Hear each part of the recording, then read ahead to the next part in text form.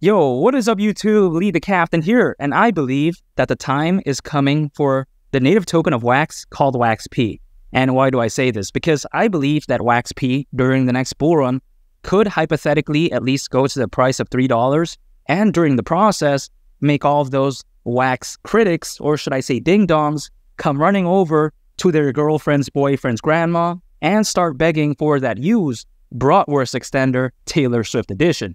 If you know, you know. And even though that's neither financial, baby mama, nor grandma advice, in today's video, I want to explain several reasons why I believe WaxP could hypothetically at least go to the price of $3 during the next bull run. And a major reason why I think that could happen, I think is going to boil down to the rock solid, that's what she said, fundamentals of Wax. If we take a look at Wax, what is it, right? Wax is a purpose built blockchain that was designed to help make e commerce transactions faster, easier, and safer. The Wax blockchain utilizes a delegated proof of stake consensus mechanism, and it's even backwards compatible with EOS as well, which I find amazing. Wax so far has created various blockchain based tools, which allows for decentralized applications, marketplaces, and NFTs to be built. And now I want to talk about something crazy.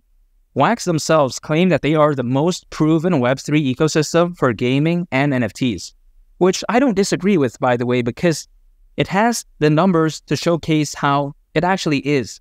If we take a look at this, Wax, as of right now, is able to facilitate 23 million daily transactions.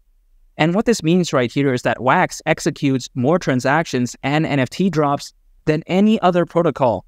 I mean, carajo, that's crazy. But it doesn't end there because Wax has over 700,000 daily active users. But there's more. That's what she said because Wax is home to more top 10 blockchain games than anyone else.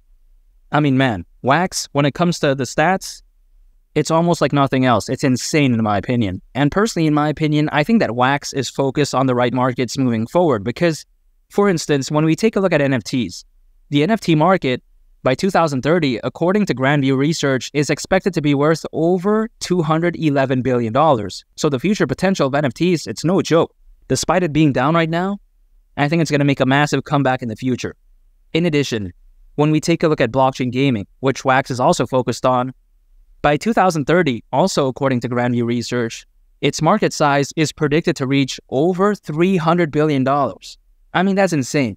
So the two markets that Wax is heavily focused on, according to Grand View Research, combined is expected to have a market size of over half a trillion dollars over the next seven years. I mean, that's very crazy to even think about. That's bigger than some countries' GDP. It's very insane. I think as the blockchain gaming market and NFT market continues to grow moving forward, I think so will amazing projects much like Wax. I think its future could look so bright. And here's the thing WaxP, as of right now, the native token of Wax, is down over 95% from its all time high price. I mean, just let that sink in, right? When I take a look at something like this, I actually get excited. You know, some people out there, they may think that, ah, you know, the price of WaxP is down by so much. What is this about? But I love it because the way I view it is that the lower the price, the better the buying opportunity for me. At least, again, that's the way I view it. That's not financial advice. And that's why I'm constantly dollar cost averaging into WaxP. Anytime I earn any sort of income, I set aside some for WaxP. It doesn't matter if the price of WaxP is pumping or dumping that day, it doesn't matter. I just accumulate anyways because I believe in its future. I think that by dollar cost averaging, I'm preparing myself for the next bull run in such a fantastic way. And I think that dollar cost averaging is the best strategy personally for me because a lot of people out there, they want instant results, they want fast results. And what do they do, right? They resort to day trading, swing trading, using leverage. But a lot of friends that I know that do this, they get absolutely wrecked. They get cooked. They end up becoming guacamole on that Chipotle bowl, so to speak. They end up becoming surf and turf. And one of my friends, he started day trading, thinking that it was going to be easy, entered the crypto space, wanted fast results. He kept losing trades, ended up spiraling. And he ended up thinking that cryptos are a joke, but it doesn't have to be that way because through day trading, if someone is, let's say, shorting WaxP, but instead the price goes up, if they get liquidated, they get stop lost, you know, they have to make another trade to recoup these losses. And again, right, much like my friend, if they keep losing trades, they could end up spiraling, which is why I don't do that. I like to keep it simple through dollar cost averaging. By dollar cost averaging, you know, if let's say my portfolio is down 10%, yeah, okay, that's not good for some people's ego. But if the price of WaxP, let's say, goes up 20%, then I've recouped this loss, right? This 10% loss was an unrealized loss because I didn't get liquidated. I didn't get stop loss. So again, that's the beauty about dollar cost averaging. I'm not day trading or swing trading. And when something is this amazing like WAXP, I like to keep it simple. There's no need to overcomplicate things in my opinion because I believe that WAXP during the next bull run could hypothetically at least go to the price of $3. And I think a major catalyst which could very well allow for this to happen is the fact that the next bull run, in my opinion, could be so legendary because when we take a look at it, the 2021 bull run that was no joke. That was insane. But still, even despite that, that year, at that time, there was over 100 million less crypto owners than today. So you gotta let that sink in, right? As of right now, we actually have more people than ever before in history owning cryptos. So if the 2021 bull run already looked that insane with that many less people owning cryptos, just imagine what the next bull run will look like. Especially now that we insert, that's what she said, over 100 million new crypto owners.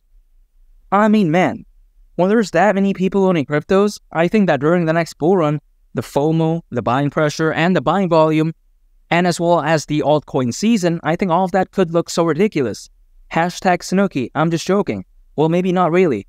But when I take all those positive factors into consideration, and when I consider just how revolutionary Wax is, and last but not least, when I consider what markets Wax is focused on, I really don't see why WAXP during the next bull run won't hypothetically at least go to the price of $3 and during the process make all of those wax critics come running over to their girlfriend's boyfriend's grandma and start begging for that used Bratwurst extender. If you know, you know. And of course, it's Taylor Swift edition. They might even try to get the Selena Gomez edition. I guess we'll never know, right? But yeah, besides that point, I'm going to keep it simple. I'm going to continue to dollar cost average. And I think that Wax P is a sleeping giant. That's what she said. And if you want to check out a very interesting video, make sure to go ahead and click on this thumbnail right here. It's a very fantastic video, and I think you all would really love it. It's been Lee the Captain, and I'll catch y'all in the next one. I'm out. Peace. Bye.